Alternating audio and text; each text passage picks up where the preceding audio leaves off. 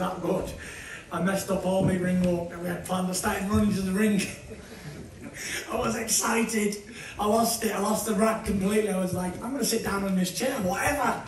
Um, Frank, massive, massive thank you, Frank. Um, a lot of people don't know, but Frank brought me back from the brink of death and believed in me and gave me a big contract to box again um, when everybody else was probably scared to get me in the ring again. So, uh, massive thanks, Frank. And not only did he do it this time, but he done it the first time as well. Um, he got me to fight with Joey Abell, Derek Chisora for the mandatory position, which led me to fight Vladimir Klitschko. Here And then- we come to save then the he, he, brought me back again from, from being like a fat man and 28 stone to, to get me the, the return of the Mac in Manchester, which was absolutely epic, 20,000 at home.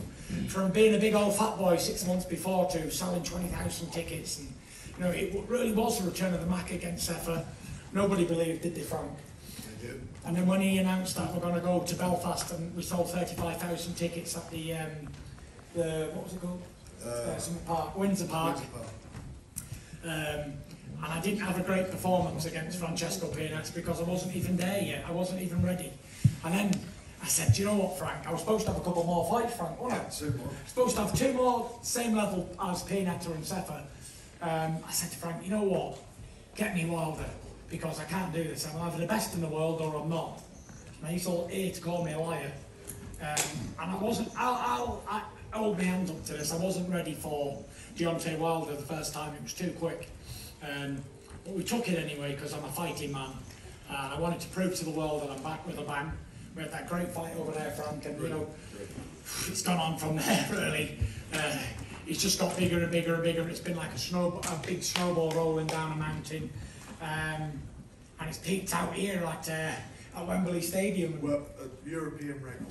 Yeah. To- You know what? Big shout out to Top Rank and uh, Brad, uh, Todd, Bob, everybody else in the office over there. Um, they made it happen in America, in the home of the Gypsy King, Las Vegas. Uh, you know, made some big, big nights happen with a Wilder 2 fight, Wilder 3, Schwarz, Wallin. Um, it was unbelievable, you know, they treated me like a superstar. Um, I went on an American voyage to crack America, conquered America, so to say. Um, and I, I was brought back to England to a hero's welcome. And, what a welcome I had tonight for about 94,000 of my fellow countrymen. Um, it was fantastic. So, you know, I was here at the press conference only a few weeks ago on my own when it all started and single-handedly sold out 94,000 tickets and I don't believe there's an entertainer in the world in sports on his own can sell 94,000 tickets without even an opponent. So yeah, I'll pat myself on the back for that. And I think the proof is in the pudding. And how many people, how did the cheer he got when he came into the ring that Tyson got? Yeah. They were Tyson fans, Tyson's fans, all of them. If you, even the couple who may not be, they certainly were, were by the time the fight was over. It was a phenomenal performance. For me, he is without a doubt the best heavyweight of his generation. He would be a great heavyweight in any generation, and he's the best. I've got to say it now, probably the best fighter I've ever been. Frank's been involved with a lot of fighters, so a big respect for that, Frank. And that's, that's, that's a fact. Because where you come back from what you've done Yeah. and what you continue to do, it's just amazing. It's amazing. And in, most of the fights you come back against Wilder twice, you was an underdog. Yeah, and come off the canvas twice. And they, no, you can bet in office, bet, betting you as an underdog, and, uh, and you, you went and done it in the other guy's backyard. You know, I'd like to share with everybody in the room. Um, what did I say, Frank, tonight in the changing room to you, to everybody, to me brothers, me dad, trainers? What did I say? Do you remember before the fight? Come on, tell me again. Do you remember, Sugar? I didn't hear it, I just heard everybody cheering and laughing. I said this is going to be an that's exactly- exceptional performance. I'm going to put on a proper show. That's exactly what you said. I just felt it. I could feel it. You know, I felt good. My feet were good. My jab was good. Jab Jab was was, jab was superb. jabbing the head right off him. Derek is always homeless. Yeah, because Derek Chisora's now homeless, sorry to everybody. He lost his house to Joseph Parker, so unlucky. Um, and Derek, I have got a house next to my house in Morecambe. You are welcome in any time, my brother. But the moral to the story is, never bet your house on something unless you're one million percent sure. And You can never be sure in heavyweight division. So now he's homeless. Good luck to him.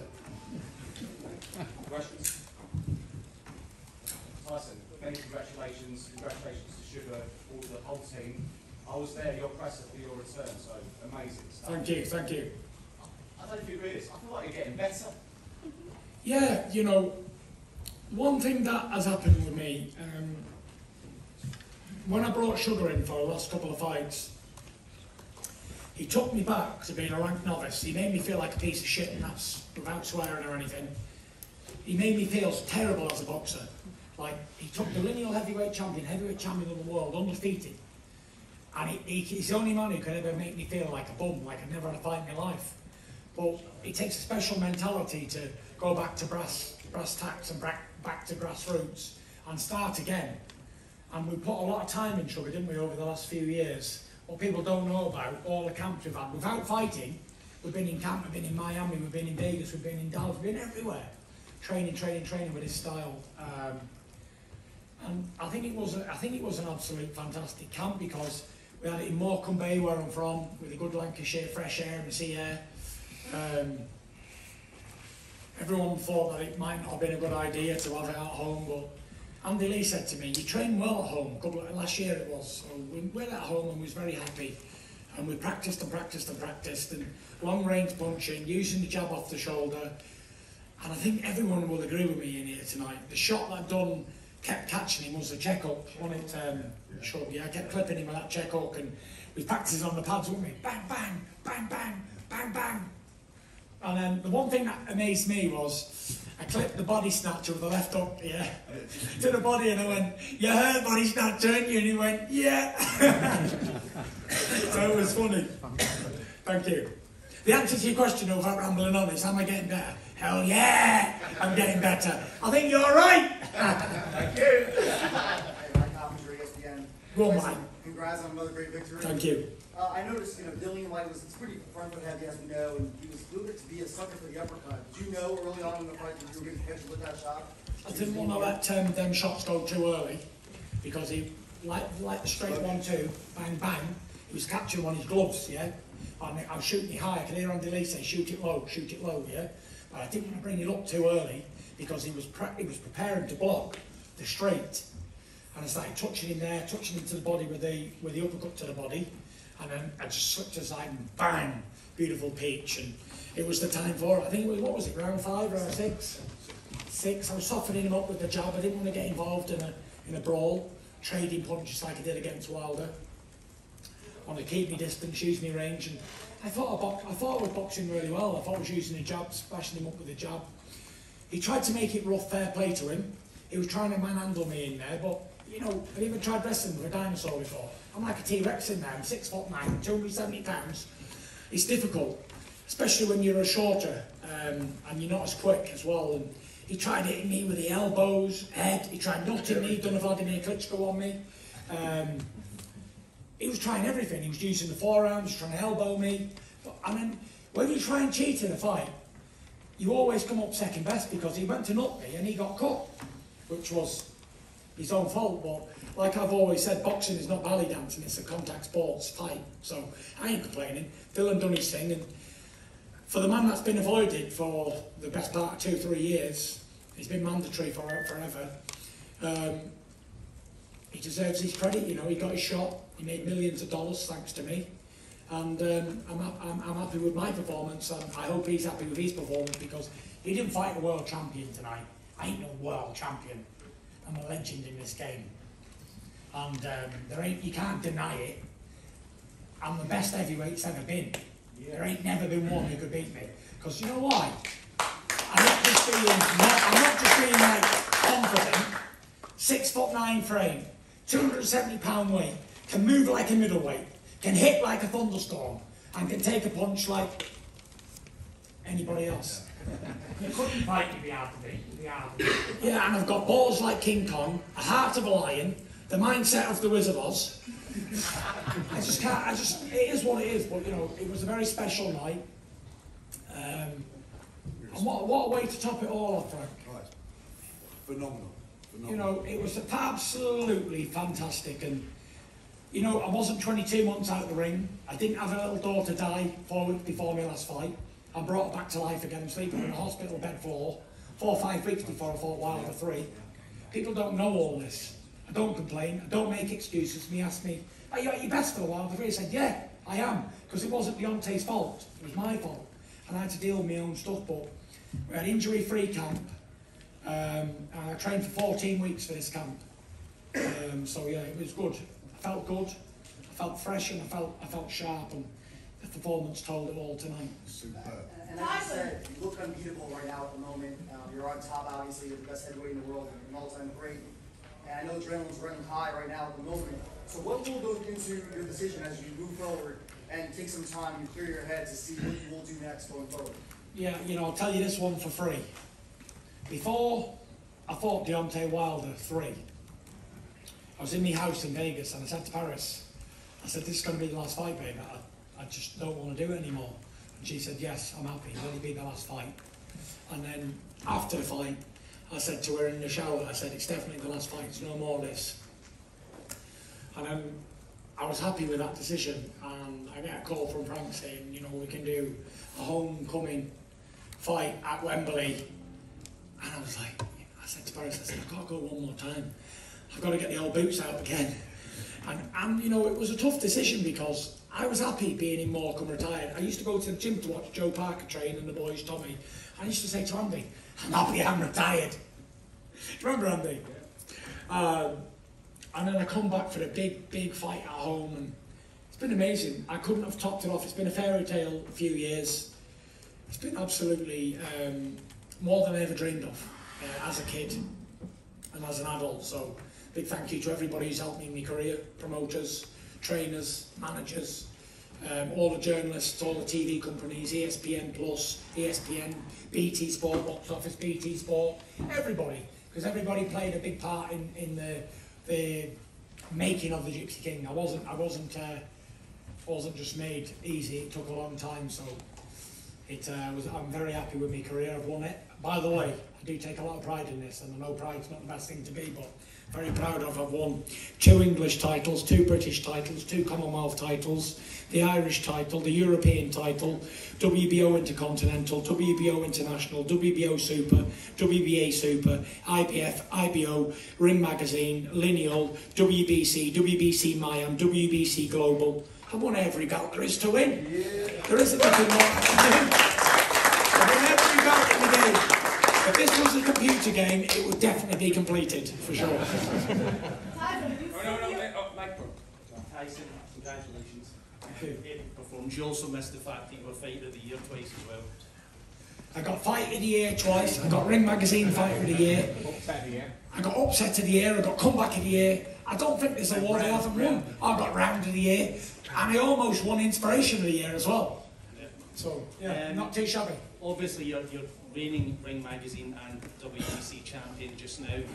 There's a lot of retirement talk, but surely you're going to hold on to your, your championship belts at least for another six months. When it gets to um, Usyk against Joshua 2, there's going to be calls for you to fight the winner of that fight. Will you dismiss it? Will you take your time to think about it? You know what? I've said what I've said, um, and I'm happy with my uh, decisions. Uh, I'm going to go home with my wife, my kids. Spent a lot of time on the road. I've been, I've been away a long time. I've, I've fulfilled everything I've ever wanted to fulfill. I, I'm going to retire as the only second heavyweight in history after Rocky Marciano to retire undefeated. Two-time Ring Magazine heavyweight champion of the world. There's never been a Ring Magazine holder in my era, not one of them. And there hasn't been a lineal in my era either, because all roads led to the Gypsy King. And I was unbeatable at this game. That final? You're final? I definitely think so. But I'm not ruling out, I will not rule out exhibitions, for sure. Get some of that Floyd Mayweather money. Um, you know, I want to have fun. You know, I'm an entertainer. You saw tonight, I entertain. It's what I do best. I'm an entertainer. Um, so I want to have a lot of fun. You know, Big Francis Ngannou was here today.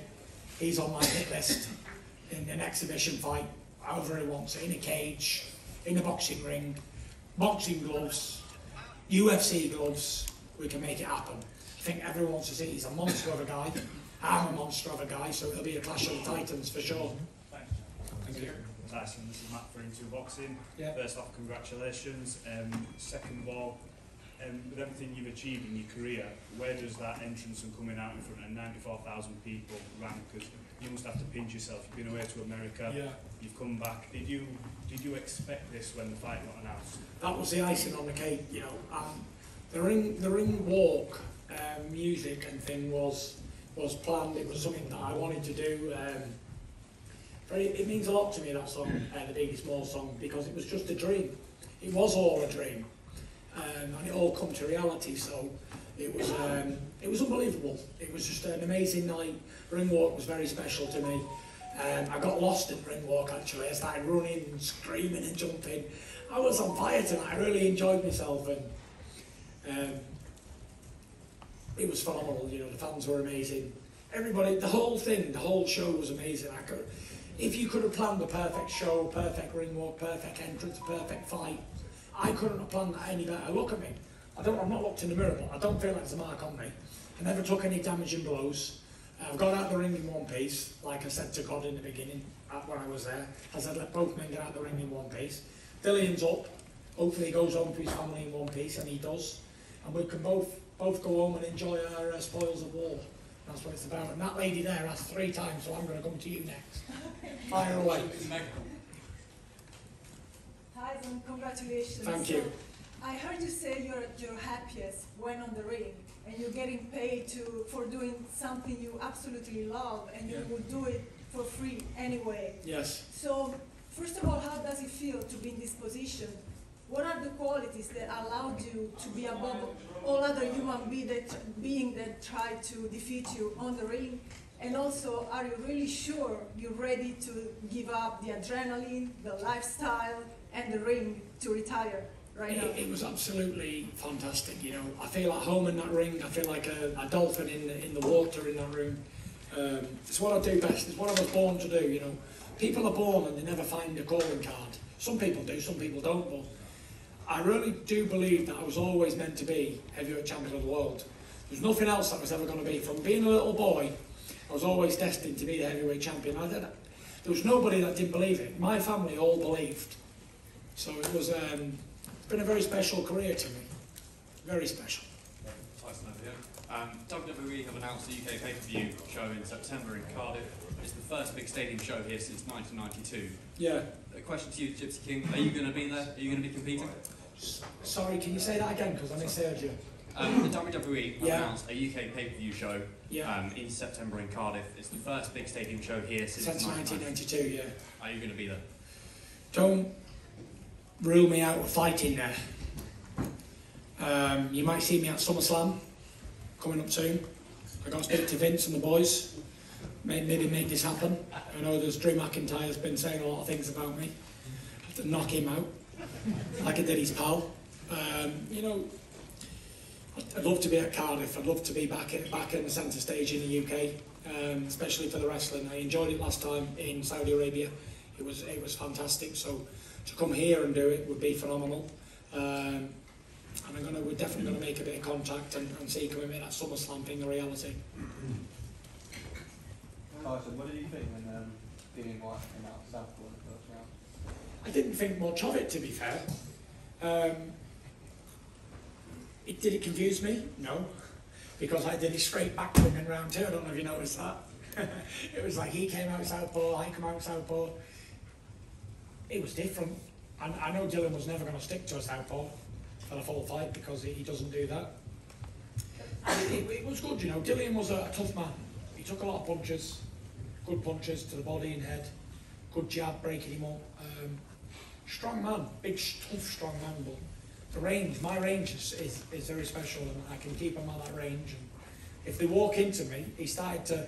Andy Lee was saying in the corner, he's gonna, he's gonna chuck it all away, and he's gonna come straight at you because he, he's gonna, he's gonna get impatient. And Sugar was going right. So Sugar said to me around five, he went. I want you to break this mother beep beep beep up. He said, unload on him.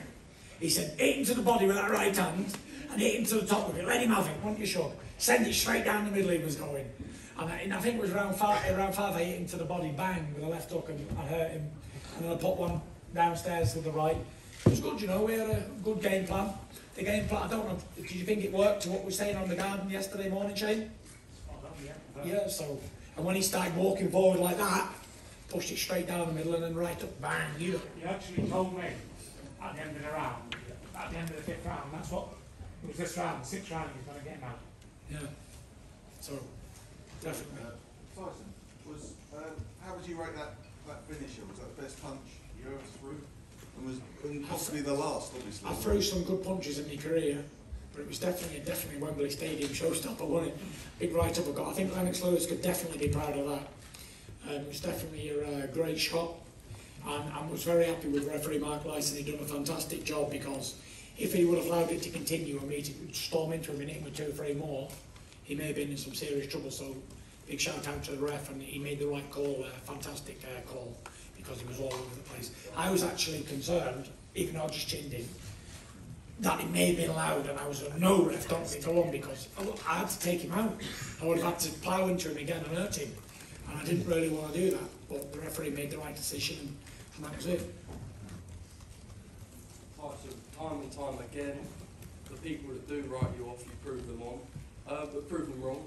Just a message to them. I know you know it won't bother you, but just a message to the people that do continue to doubt me. You know, you.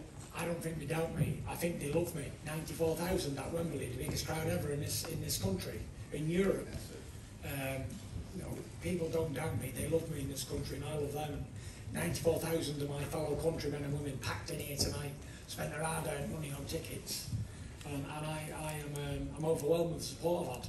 You know, 10 years ago, I, I couldn't sell 10,000 tickets. Even when I went to, to Germany, I was the underdog to fight Klitschko in his hometown.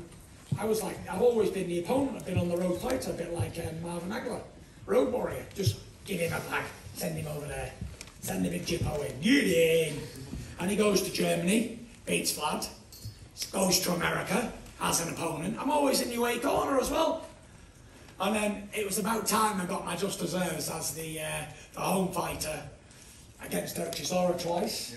I was the away fighter. I've been the underdog my whole life. I'm still the underdog. Look at me, I'm fat as, I'm fat as anything. But um, the old fat boy can fight. Um, and you know what it is, no matter how many times people put you down and write you off in life, never pay attention to it because it doesn't mean anything. Because I proved, as just a, a normal, normal looking man, average Joe, that anything is possible, no matter where you are in your life, how dark of a place you're in. It doesn't get any darker than committing suicide now, was there? Um, to come back to to lose all that weight, to lose over 10 stone in weight and get back mentally well again and regain the crown jewels um, in boxing.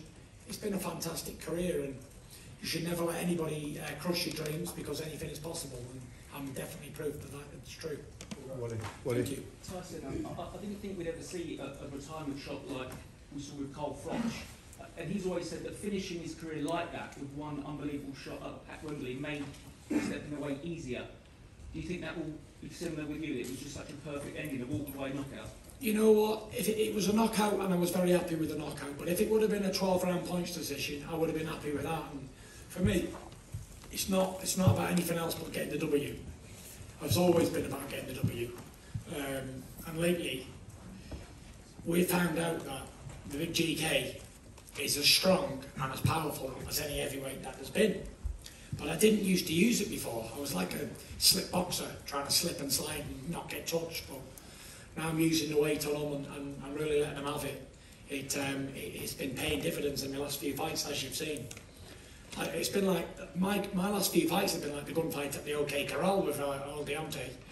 Um, but with Deontay Wilder, you can't try and box him. Can't outbox him because if you are boxing for 12 rounds and he lands one punch and you wake up on the floor, it's pointless. So you've got to drag him into a fight. Um, and I showed that. I, I was put down, kissed the canvas four times against the man. We've had a good battle royale, and and Dylan here. Everyone thought he was a, um, a dangerous man. Well, he was, but I uh, showed I was, I was levels above that. So yeah, it's been it's been fantastic, and you know, like I say, I've enjoyed my career. It's been a fantastic career, and I'm 34 in a minute. Every good dog has its day, and I know Frank will be un, unhappy about that, and Todd and top rank. But you know, there's, there's a lot of money to be earned. But for me, you know, I come from fuck all, I come from nothing. You know, it's never been about money. I'm not a money person. I drive around in a 07 um, Passat on 56 plate diesel. I don't care. I don't care what I've got. It's never been about money to me. I know a lot of people with money, big money, but none of them are happy, not one of them. And I know money can't make happiness. It's not even been about belts for me. It's not been about legacies. It's not been about anything apart from punching a motherfucker's face right in on the night. That's all it's ever been about. Excuse the language. All I ever want to do is win. The money aside, money's beautiful, great. It's, great to be paid for what you do. And if you're good at something, Ben Davison told me, if you enjoy something and you're good at it, you'll get paid for it. So I enjoy boxing, I was good at it, and I've been paid for it, but it's not the be all and end all of anything. I could end up in a council flat at any time, don't worry about that. Um, so it is what it is, and would it change me as a person? No. Do I need a mansion and a Rolls Royce? I don't. I've got them, but I don't need them. But it doesn't, doesn't make of you as a man. You, a man is what you are in here. And if you're a good person in here, and you've got fuck all, you'll do for me. But if you're a millionaire and you're horrible, I don't want to know you. Because I've only got time for good people.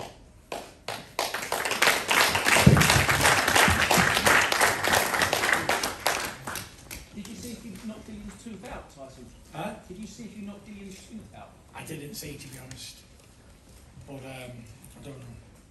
Tyson, um, it was a pretty, pretty brutal knockout. Have you spoke to Dillian afterwards? You said he's I back did. up. Have you been in change room? How is he? What, what's your I message spoke to to him for Dylan his after the fight. Um, I gave him a kiss and a cuddle and a hug.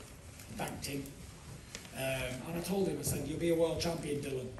Um, but tonight you just had to meet a great in the game and that was it. Um, he, he come and give it his best. No, listen, there's no embarrassment losing to a better man on the night. At least you got the guts to go in there and have a fight. People will say, oh, Dylan Whyte was shit. They'll say this, and I've seen them. People who've never had a fight in their life, they, told, they call professional boxers rubbish. And I'm like, please get a glove on and have a fight yourself, and then tell me if you shit or not. So a big shout out to Dylan and his team. You know, here, everyone thought it was going to kick off, didn't you, Frank? In, this, in here, when we first come up face to face, thought it'd be a kick off, but we behaved like gentlemen um, all the way through, me and him. Um, we diffused, we diffused it all the animosity, shook hands. I thought the weigh-in was one of the best weigh-ins I've ever seen. Never mind getting each other by the throat. We was dancing to the music. It was great. It was fantastic. Never, I've never seen it done before. Have you sure? I don't know, it was like a telethon or something. It was a, cel- you know, it was more like a celebration. Yeah. Um, what's that saying we do? What do we turn restaurants into? Parties, nightclubs. Exactly. Tyson? Tyson, congrats, congrats for your win. Uh, my name is Andrei, I'm from Ukraine, and I have, I have a question. What do you think about uh, fight uh, Joshua with Usyk, and uh, you uh, want fight with who? Yeah, I think it was a good fight when it happened last year. Um, and whoever wins, wins. Good luck to the both guys. I hope that they both train well and have good preparation and they give the fans the best fight possible. And to be honest, the honest answer to that is Clark Gable will say, I just don't give a damn. Quite frankly, I just don't give a damn who wins. None of my business. And the one thing that I've always prided myself on is never getting involved in anybody else's business.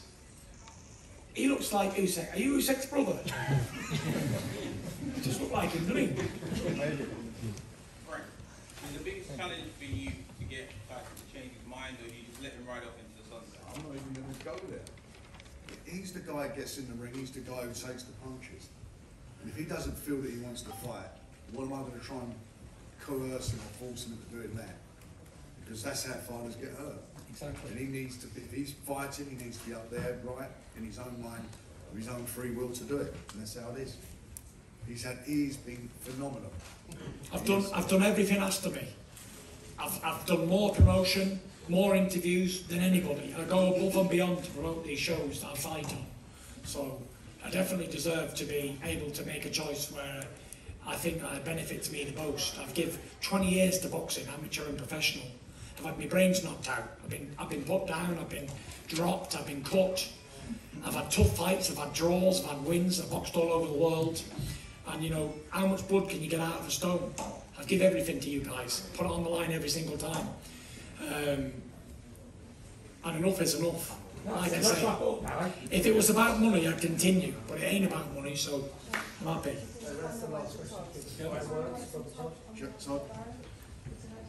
Well, all, all I know is this would have been Bob's amazing nine, you know, he's ninety, came into the business in sixty-six. Yeah.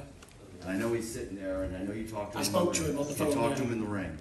And I know he wouldn't want, he would want to be here more than anything. Yeah. It was, like we talked about the press conference. Yeah. Historical for me. Yeah. Historical for him, and I know historical for all of us, but he was, uh, it's really his body of work to watch what you did tonight. You know what? When I, when I uh, I had a meeting with Bob um, in 2019, I said to Bob, I said, "What's the motivation, Bob? Why at, at nearly 90 years old? Why do you want to be involved with the British heavyweight?" He's going well. He said, "I came into this game promoting the best heavyweight in the world," and he said, "I'm going out of it promoting the best heavyweight in the world as well." I said, "Fair play to you." So yeah, big shout out to everybody. Um, thank you very much and good night. God bless.